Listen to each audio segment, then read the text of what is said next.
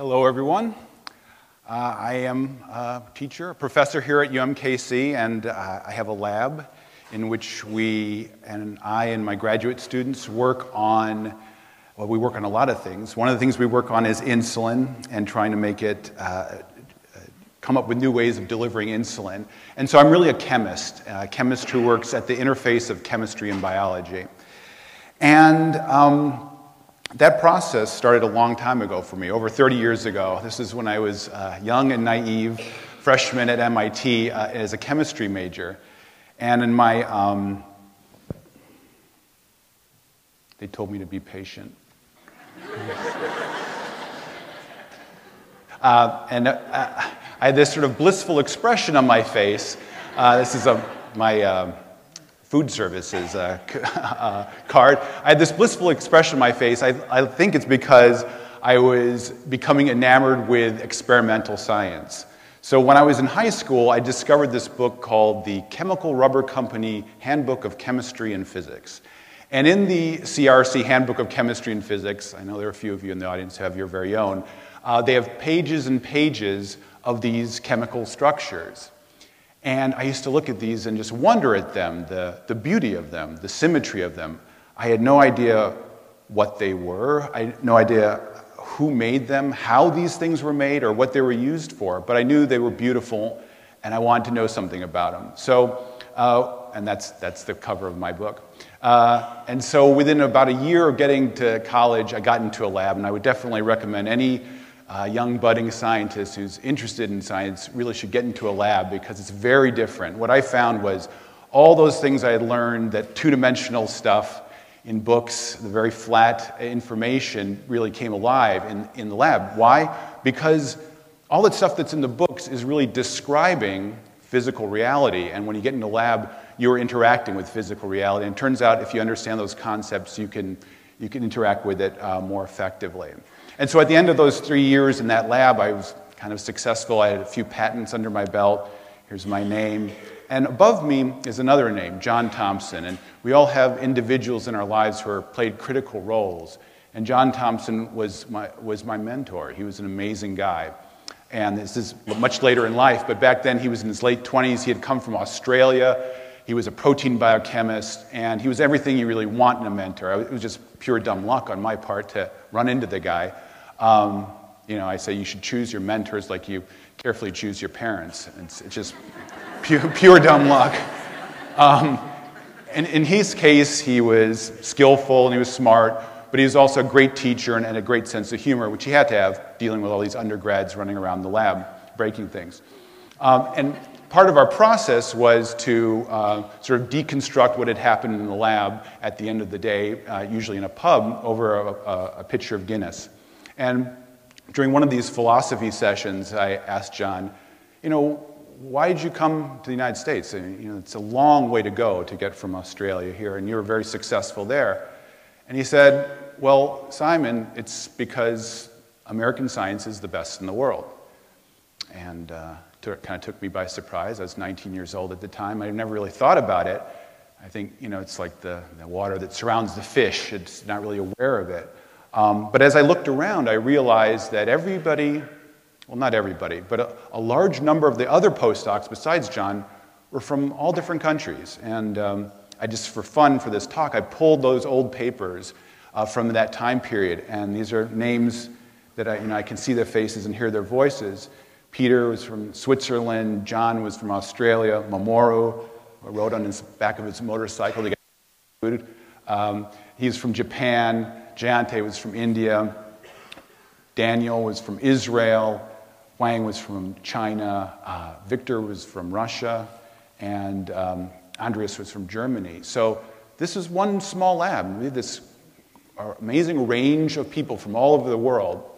And know, I thought, well, maybe that's just our lab, but it, it wasn't. I, I looked at my dorm and this is an old uh, dorm photograph. It's on the roof. Uh, the place is called Random Hall. It was the smallest dorm. It was across from a chocolate factory uh, called the Necco factory. So if you've ever had Necco wafer, I lived within a few yards of that. Uh, there I am on the end. Uh, next to me, Joe Cherian from Malaysia. Next to him, Shankar from India. Down there's uh, Ricky from Peru. Uh, Jillian from Trinidad, uh, Isaac from Ghana, Jens from uh, Sweden. And, you know, when I, just some of the names, but when I went through all the countries just for, for this talk, I realized it's a huge range. There's a small group of people and an incredible variety of, of people represented, of countries represented. And, you know, I, in thinking about this, was this, was this, you know, MIT sort of experiment uh, to make a model UN of nerds? Um, no, no. It, what, what MIT was doing on a small scale, US science has been doing for the better part of a century on a large scale, and that is identify the best people wherever they are in the world and bringing them into the environment of American science, uh, where uh, they get the advantage of the environment and we get the advantage of their, uh, their intellect. And it doesn't just happen at MIT, it happens everywhere. This is my own division. We have eight faculty, it's a very small division. We have six countries represented. This is pretty standard throughout uh, academia. So I would say this is the US formula for science success. You get the best people, wherever they are in the world, wherever they're from, you add money, that's the water, and you get the best science in the world. Um, and uh, so, you know, I'm, i keep saying the best science in the world because that's what my mentor called it. Uh, but does it actually work? Do you get the best science in the world? How do we even assess that? Well, you know, we can argue about that, but one, one way, and the way I'm going to do it today, is by looking at Nobel Prizes by country. And, and we can discuss, uh, you know, whether a Nobel Prize by country is the best way of assessing science overall quality, but you know, it's not a bad proxy for the highest achievement in science. And when we do that, it's pretty clear. The United States just blows the rest of the world out of the water. We have about three times as much as the next country. Not only that, we're, we're probably more than the summation of all the other countries combined. That's about over 350 Nobelists. So that's great. But let's look a little bit more closely at that, that impressive bar on the bar graph. If we ask the, that's country from uh, the country they were in when they won the prize. When we ask the question of those people, how many of them uh, were not born in this country? Turns out over a hundred of them, a quarter to a third of U.S. Nobelists, came from, they were that group, they were immigrants. They came to this country uh, to pursue science. So, um, and that's what made American science so great. So, you know, why should, I know I care because I love science, but why should an average person or, or anyone care about uh, America having the best science? Well, you know, you can have sort of a national pride thing, like in the same way that you follow the Olympics, how many gold medals each country won, and that's fine. But there's some really practical reasons to care about achievement in science. It's, one is that science and technology are an engine, or you know, I would argue the engine of the economy currently.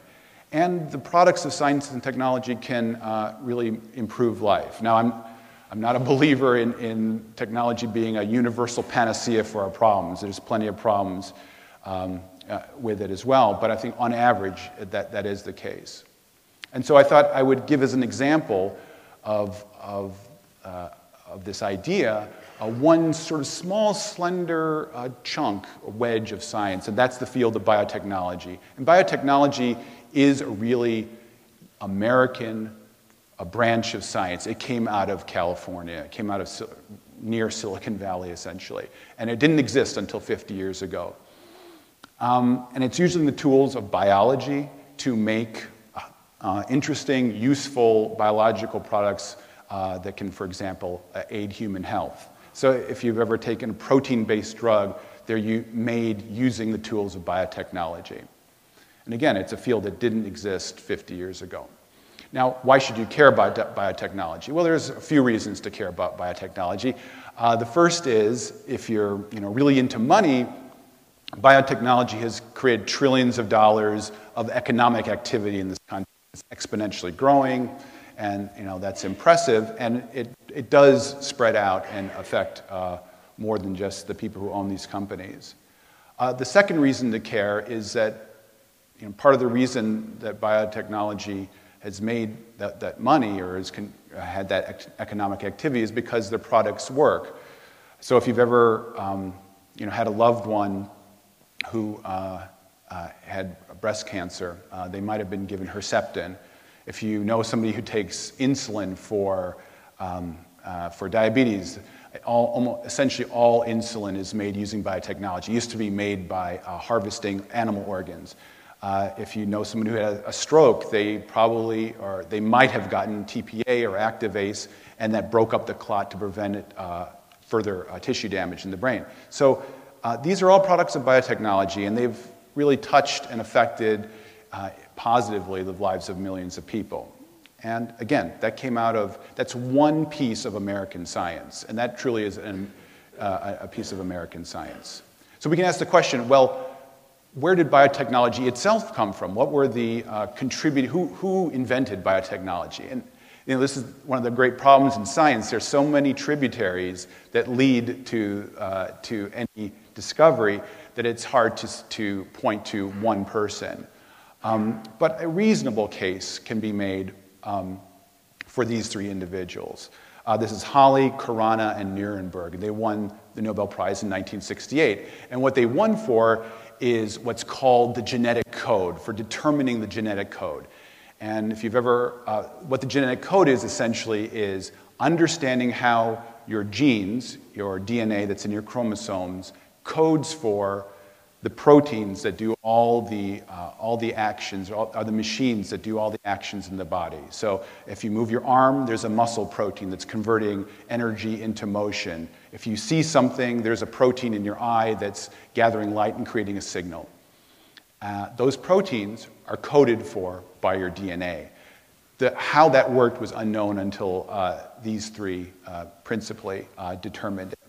And so this is really an example, and they're all American citizens. So these three neatly fit into that, that, night, that impressive column of American Nobelists, three Americans in that group of 350.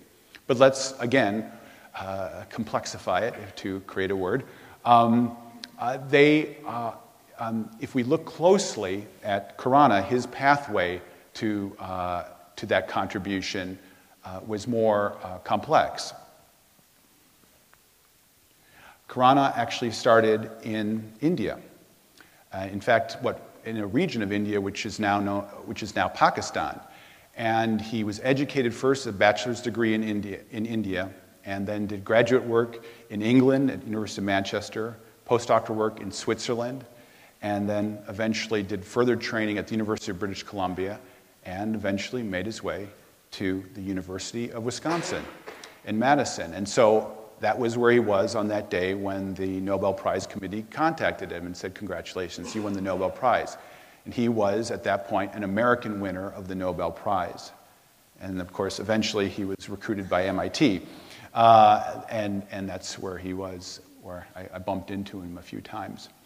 Um, and to me, Khorana, Khorana's contribution to this was even more remarkable because he was really one of the first people to chemically synthesize genetic material, which is impressive.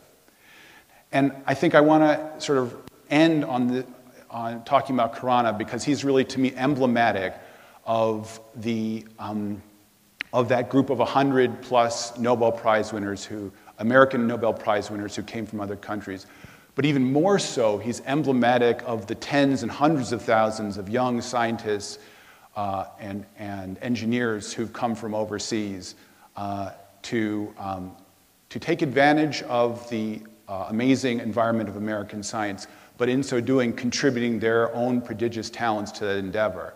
And I think, uh, I think it seems uh, pretty straightforward, a straightforward idea that we should not impede that process, that process because uh, it lies uh, at the root of the success of the scientific endeavor in the United States and of science in general.